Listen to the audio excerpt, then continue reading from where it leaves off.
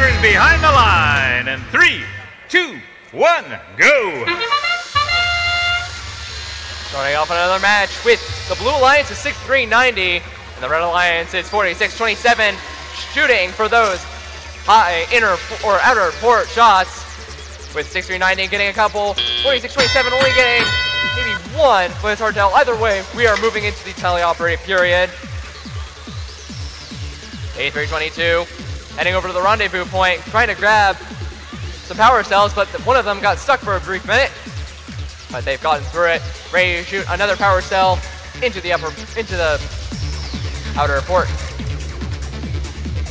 6390 having one power cell ready to go, but is aiming to get more before it deposits them into the outer port. Moving over to the Red Alliance, 288 Robo Dogs deposited a ton of power cells into the lower port, scoring more and more points for the Red Alliance, but it's still going to be a little bit of a tough climb for the Red Alliance to, catch, to take even, for the Blue Alliance, the score is 30 to 25 right now.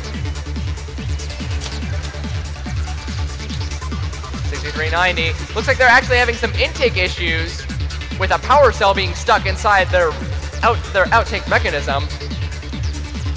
244 playing some defense and also taking advantage of 6390's technical woes as they still try and get that power cell out of their robot. Playing some hard defense against 8322.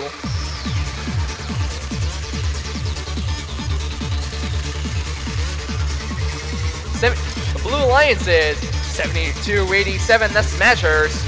Trying to play some hard defense against 46-27 as the Red Alliance is, pro is progressively standing up against the Blue Alliance and catching up beyond them. As both of the Blue Alliance's main shooters are having some technical woes and are dealing with defense from 244. 30 seconds left in the match. We made it to the end game period.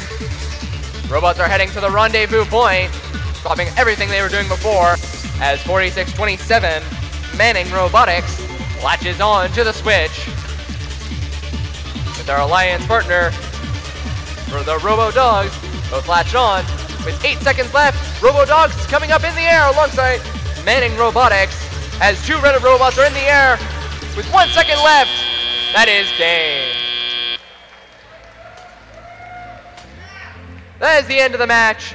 We will have your official score. Scores the Red Alliance wins with 132 points to the Blue Alliance's 43. Okay, we're at match 54 out of 55. Second last one. Right after this, we're going to go straight in.